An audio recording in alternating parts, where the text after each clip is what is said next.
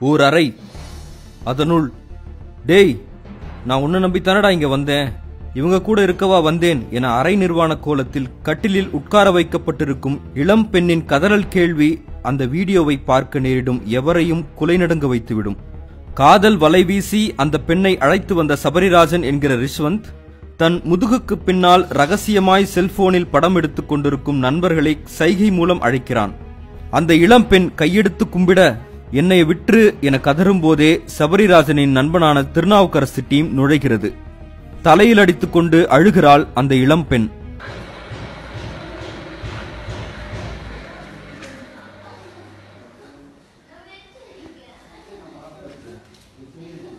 நான் வச்சிருக்கேன். ஐயோ, ரேஷ்மன் வேண்டாம், ரேஷ்மன். ஐயோ, நான் வச்சிருக்கேன். ஐயோ, நான் வச்சிருக்கேன்னு சொல்றேன். நான் போனேன், ரேஷ்மன், என்னை விட்டுரு. சரி மேல போடாட்டா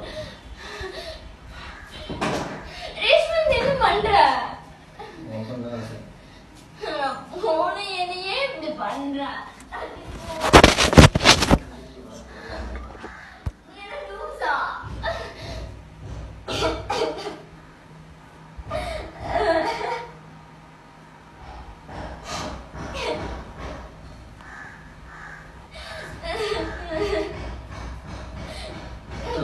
பாரியா என்ன பார்த்து உனக்கு எப்படி தெரியுது? இதே எல்லாமே பார்த்துக்கலாம் அப்புறம்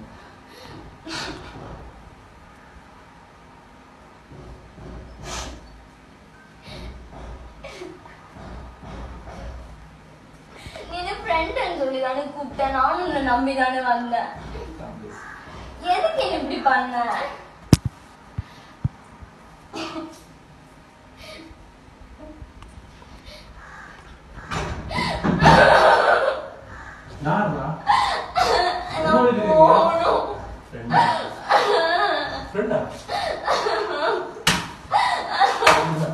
அதற்கு அடுத்த வீடியோவில் லெகின்ஸ் பேண்டோடு இருக்கும் அந்த இளம் பெண் அண்ணா பெல்டால் அடிக்காதீங்க அண்ணா நான் கழட்டுகிறேன் என துடிதுடித்தபடி அழுவது இதயத்தை இரு துண்டாக்குகிறது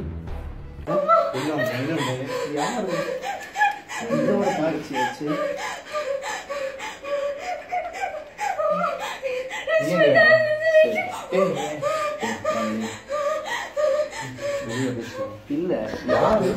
யாரு? ஏய், அண்ணா, ஒரு நிமிஷம் வெளியே இருங்க, please, அண்ணா. அண்ணா, ஒரு நிமிஷம் வெளியே- அண்ணா, ஒரு நிமிஷம் வெளியே இருங்க, அண்ணா, please. இப்ப நான் கூட்டிட்டு வந்தேன். இப்ப நான் பண்றேன்.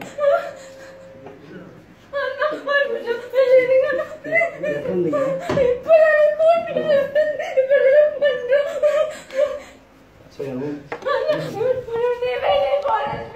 இந்த வீடியோக்கள் வெறும் சாம்பிள் தான்.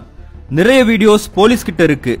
இவனுங்க நிறைய பெண்களை இப்படி துன்புறுத்தி இருக்காங்க அதுல முக்கியமானவன் திருநாவுக்கரசு என கோவை பொள்ளாச்சியை சேர்ந்த ஒரு இளம் பெண் நம்மிடம் கதறியபடி சொன்னார். மொத்தம் ஆயிரத்து நூறு வீடியோக்கள் எக்கச்சக்கமான போட்டோக்கள் எல்லோரும் கிராம பகுதிகளிலிருந்து படிப்பதற்காகவும் வேலைக்காகவும் செல்லும் இளம் பெண்கள்.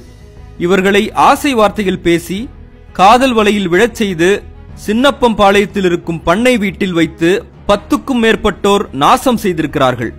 பண்ணை வீட்டு பையனான திருநாவுக்கரசு அவனது நண்பர்கள் சுபாகர் பிரேம் கிரோன் பைக் பாபு சதீஷ் வசந்தகுமார் பாபு செந்தில் ஆச்சிப்பட்டி மணிகண்டன் என ஒரு பெரிய கேங் இந்த வேலையில் இறங்க அதிமுகவைச் சேர்ந்த பார் நாகராஜனும் ஆட்டத்தில் கலந்து கொள்கிறார்.